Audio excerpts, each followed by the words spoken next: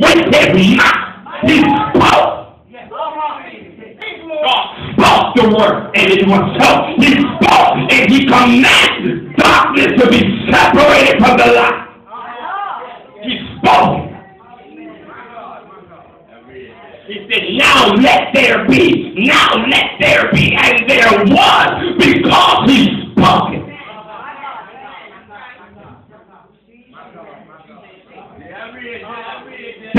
Thank you, thank you, sir. Amen. Faith coming by hearing. Thank you, Jesus.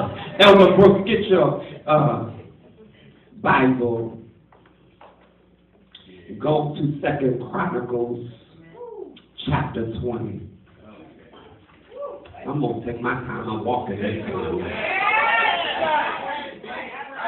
I'm gonna walk in this thing tonight. Thank you, Jesus. He said tomorrow, Saturday. Thank you, Lord. I'm gonna take my time tonight. to Go to read. Uh, read. Uh, thank you, Jesus. Verse 15. And he said, And he said, a prophet was speaking. And he was speaking to Jehoshaphat.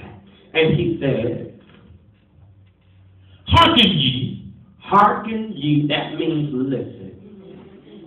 Whenever you hear the word hearken, that means pay close attention because I'm getting ready to say something.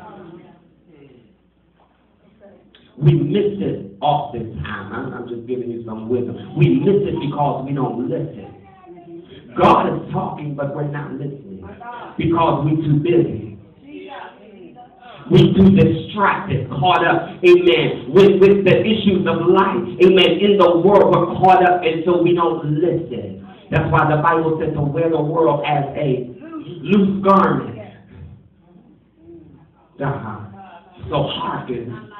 hearken ye all Judah. All Jews, that means everybody.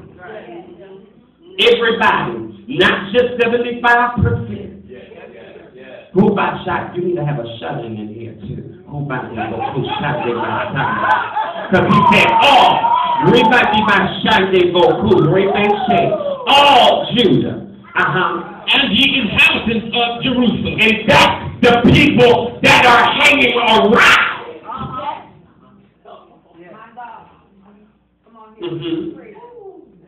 And thou King Jehoshaphat, Thus saith the Lord unto you, Thus says the Lord unto you. That, that, that's your answer right there. A lot of times, y'all, y'all waiting on people. Oh, the only thing you waiting on is somebody to say, thus says the Lord. We, we waiting on the wrong things. We waiting on the wrong things. All you need is a word from the Lord. You don't need people, you need a word. They say you, your, my problem is too big for you. I need a word from God. Thus says the Lord. be not afraid, Be not afraid.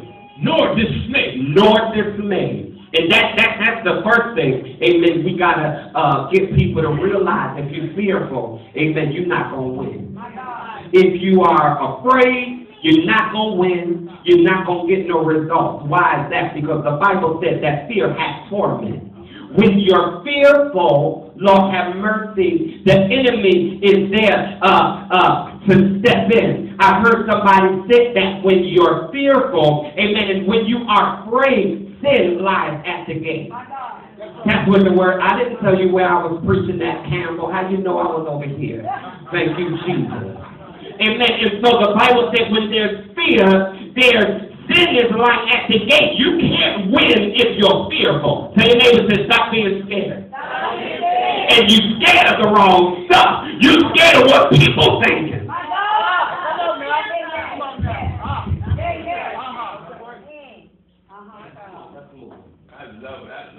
Thank you. Be not afraid, Be not afraid, nor dismayed, nor dismayed. by reason of this great multitude. Uh-huh. For the battle is not yours, It's not yours. but God. But God, understand something, people of God. Thank you. Amen. That uh, the inhabitants of Judah, they were, they lost the battle, amen, that God didn't tell them to fight. God never told them to go and fight those people. Amen. And we understand why we get so hemmed up. It's because we do things that God didn't tell us to do. Amen. Even in the church, God didn't call you to be no intercessor. You're just supposed to be an usher. And so you're trying to handle somebody else's burdens. And so you're grabbing their warfare and you can't even handle yours.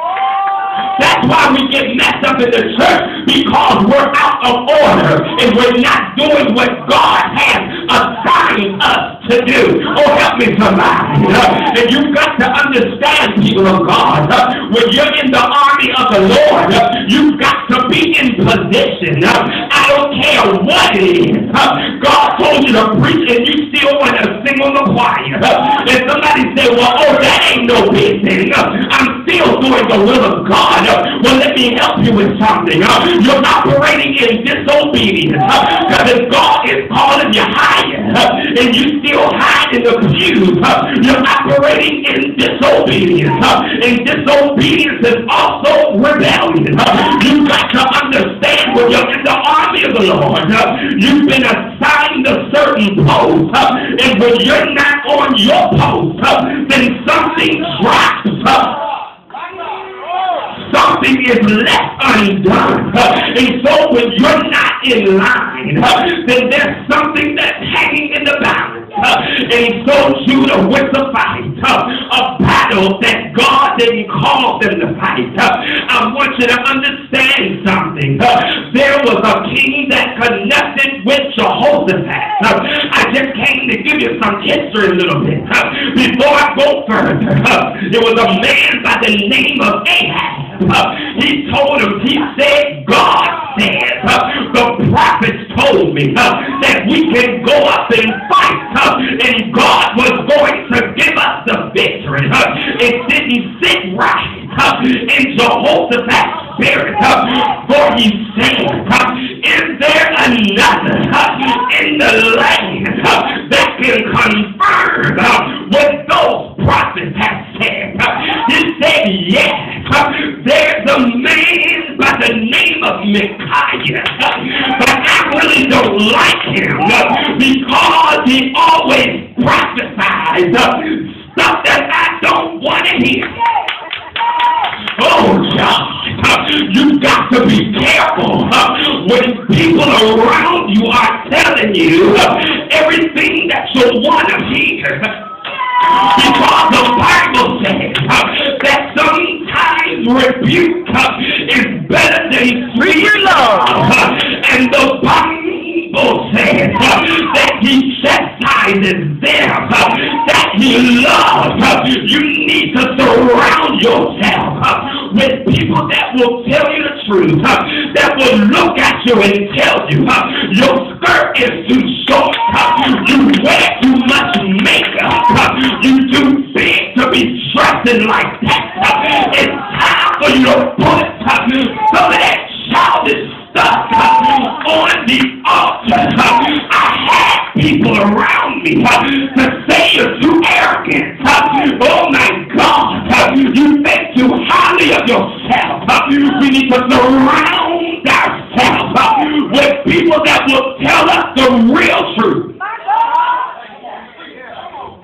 And so the Bible says that Jehoshaphat said, I want to see this man because I need to know if God is really going to be with us when we go. So the Bible says that they sent forth the prophet Micaiah and him being a man of God, he already